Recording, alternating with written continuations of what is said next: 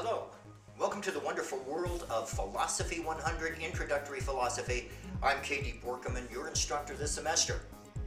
I hope in what follows you will learn some of the basic techniques of philosophical inquiry. Really, it's not so difficult to master. You were born with native curiosity. When you were a child, you asked questions. Nobody taught you how to do that. You just knew how to do it because of something that is genetically in you to do that, something biological.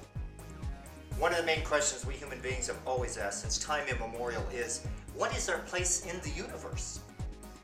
It is said that there are 100 billion stars in the galaxy and 100 billion galaxies in this infinite universe.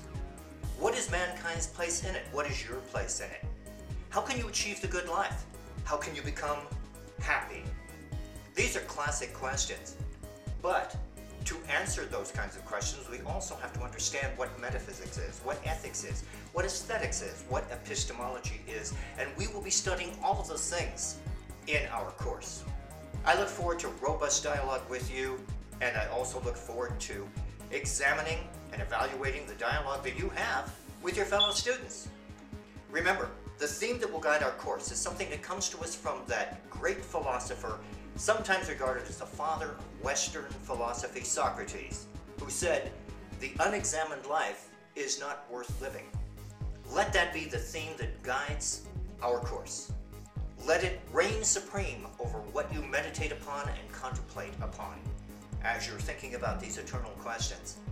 But always remember, at the root of it all, there is a question about how should I live? Thank you for joining me.